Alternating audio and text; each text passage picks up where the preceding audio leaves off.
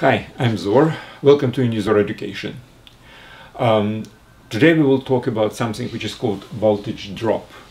This lecture is part of the course called Physics for Teens presented on unizor.com. Well, on the same site you have prerequisite course which is called Math for Teens, which I do recommend you uh, to take or at least familiarize yourself with all the concepts which are presented in the mathematical part of this. Um, now, um, I do suggest you to watch this lecture and, and any other lecture of this course on the uh, unizor.com because every lecture has detailed notes um, which basically are like a textbook basically. Um, and then the lectures are organized in some logical sequence and I do suggest you to take one after another in sequence including some problem solving and exams all right, so voltage drop. Let me start with analogy. Let's consider a waterfall. So the water, which is high up, has certain potential energy. Now, as it falls down, it hits the rocks one after another, and on each rock, it releases certain potential energy because it's already down there. And the lower you go, the less potential energy it has, and at the very end it has none. Well, if we're talking about the ground level as the end, we can obviously talk about any intermediary level as, a, as, as, as the end of this exercise.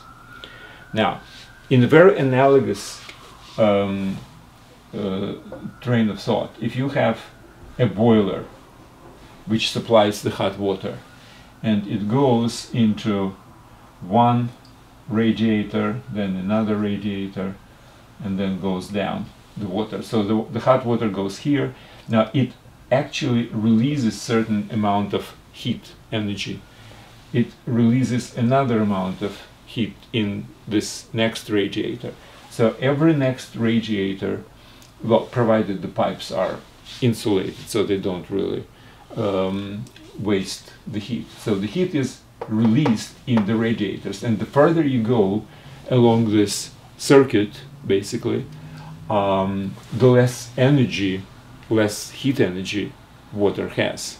And then it goes back to boiler where we heat it again and it goes again into a loop.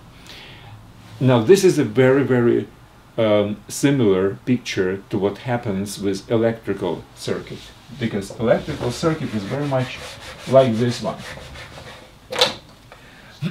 You have certain source of electricity, let's say it's a battery, and then it goes to one resistor, and then another resistor, and then goes back. Now this is a positive, this is a negative, this is a direct count, the direct circuit. So what happens in this particular case um, with voltage and, uh, and the current. Well, let's say the voltage is U. This is a difference in potential between two terminals of the battery or a generator or whatever it is. Now, electrons, well, this is the direction of the current, very traditional from plus to minus, but electrons are actually going this way. Doesn't really matter what important is that there is certain difference in potentials and this difference in potentials actually drives the whole electrons to uh, to go around the circuit. Okay now as electrons hit particular resistors we were talking about why resistors resist. Well because the electrons are trying to get through all these atoms and the atoms are trying to capture the electrons, etc. And depending on certain qualities uh, and characteristics of the material this resistor is made of, this resistance is greater or less. So it looks like electrons should lose some energy as they go through this maze of atoms. And it's actually ex exactly like this. It's exactly like the radiators are basically releasing some heat. Let's think about it. If you have a current I, now this current means amount of electricity, well, if you wish, number of electrons, which going through a circuit per unit of time. Now, obviously, it's exactly the same at this point, or at this point, or this point, or this point, or this point, because it's a circle. So the same amount of electricity per unit of time goes anywhere. So the I is here, and the I is here, and the I is here. Everywhere is I. Everywhere is the same amount of electricity which is coming through this any point in a circuit because it's a circuit. Okay, now, what is the difference in electric potential between these two points? Well, U, it's given. How about if we will measure potential between the endpoints of, of this guy or this guy?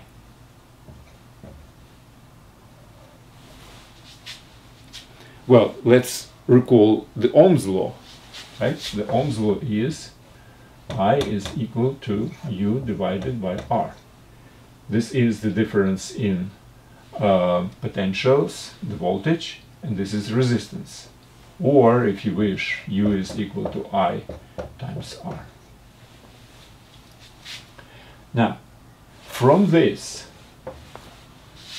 and knowing that the resistance of the whole uh, assembly of two resistors in a series is equal to sum of them.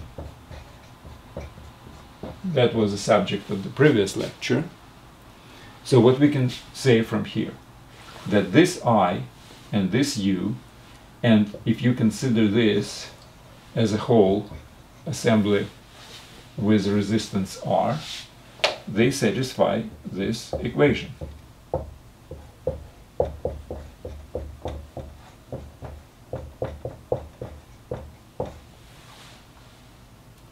Now, now let's apply the Ohm's law only to this particular resistor.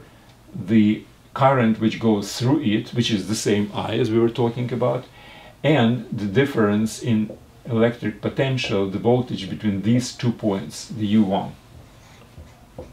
Well, it should be the same I times R1.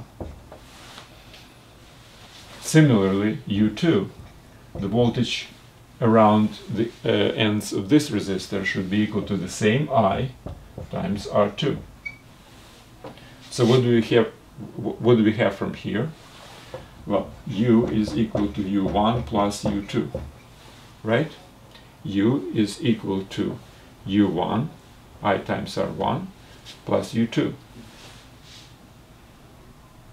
We also derive from here what is the value of U1 uh, if you would like to express it in terms of U and resistors, well, obviously you know the U from here, so you can find I.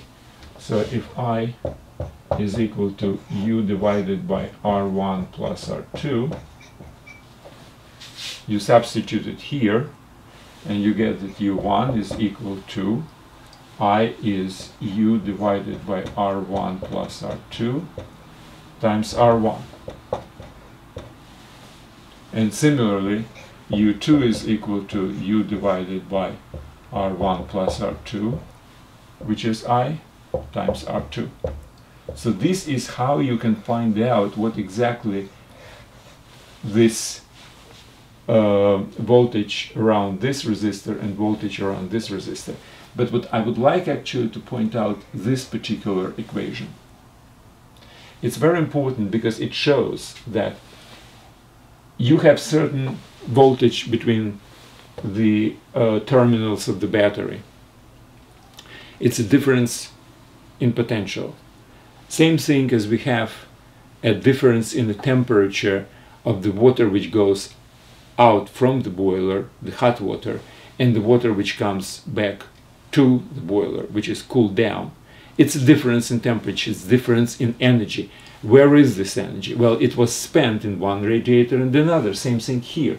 The difference in voltage, because voltage is an energy, right? You remember, voltage is amount of work which is needed to transfer one coulomb of electricity from one to another, from minus to plus or from plus to minus, whatever. So it's energy. And this energy is the, the, the difference between these two things, the difference between potential energy uh, uh, uh, on these two terminals is actually divided here. So where this difference is split into this and this. So as we go from minus to plus, for instance, first we lose certain amount of potential energy on this resistor and then on this resistor. So that's why it's called voltage drop. So as we go from one terminal back to another terminal of the battery, the whole voltage which exists here is gradually uh, lost here and here. Or if you have 10 different resistors in a series, it will be, it, will be correspondingly uh, for, for all 10. So this is a very important concept.